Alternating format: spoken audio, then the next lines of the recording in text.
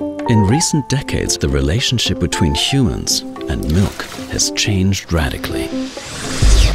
Milk has become a much desired commodity, and the milk trade is now extremely fierce. The whole agri-food chain is biggest economic sector for the moment.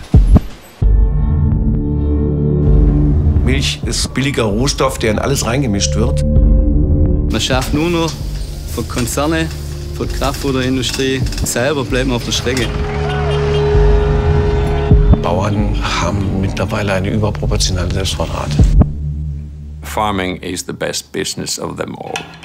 Das ist eigentlich das, was mich zum Überlegen denkt, ob das alles so richtig ist, das ganze System. È come, è come un atleta.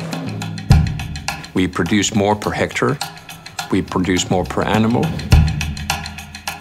La politique de l'Union européenne permet d'appliquer un dumping dans notre économie.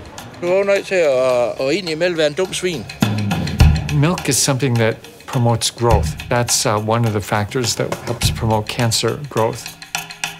Uh, what does happen in my body if I drink it? Yeah, that's the problem. We are not allowed to speak to consumers on the effects, the health effects of our products, unfortunately.